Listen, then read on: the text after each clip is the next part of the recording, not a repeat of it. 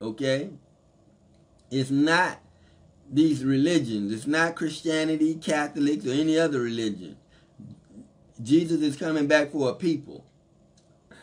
So, verse 5 But after thy hardness and impenitent, impenitent heart treasureth up unto thyself wrath against the day of wrath and revelation of the righteous judgment of God. So, Paul is going on to say unto Israel, but after thy hardness and impenitent heart, your heart is hard, talking to Israel, because you won't repent, you won't repent and serve the Lord. So your heart is hard and is impenitent. You're not repenting. It treasures up unto yourself wrath against the day of wrath and revelation of the righteous judgment of God.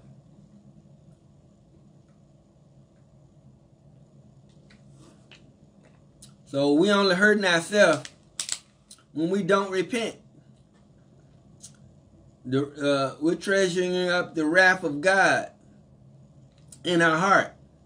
Impenitent heart, treasure up unto thyself wrath against the day of wrath. When the Lord comes back and you haven't repented, uh, uh, and revelation, righteous judgment of God, when Jesus is revealed, when he comes back, the righteous judgment of God is going to, right, you're not going to be righteous. You're going to be part of that wrath.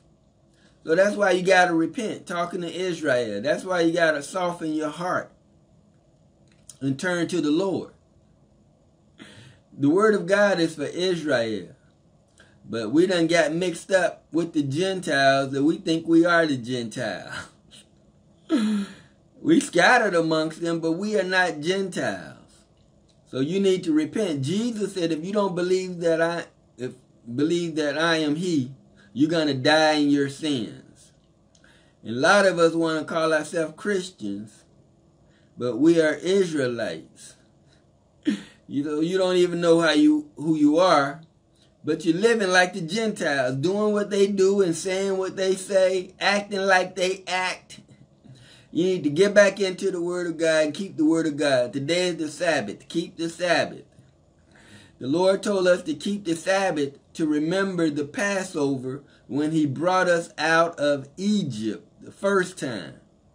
He brought us out of Egypt, told us to put blood on the lintels and the doorposts, and He's going to pass over us, Israel, and slay slay the firstborn of Egypt. And that's what He, he did, and that's the Passover. The Lord wants us to remember that. That's why we keep the Sabbath to remember that. We are Israel. He's going to do the same thing again. We are in the land of our captivity. And the Lord is going to bring us out of our captivity when he comes back. And this uh, departure, this exodus, is going to make the first Exodus like child's play. It's going to be so great and so grand. Everybody going to know who we are and who the Lord is. There ain't going to be no mistaking. So what I'm saying is absolutely, totally, 100% truth. You can take it to the bank and bank on it. Israel is us. We are Israel. We're in the land of our captivity. Jesus is coming back for us. But you better get right, act right, repent. Serve the Lord with all your heart. Verse 6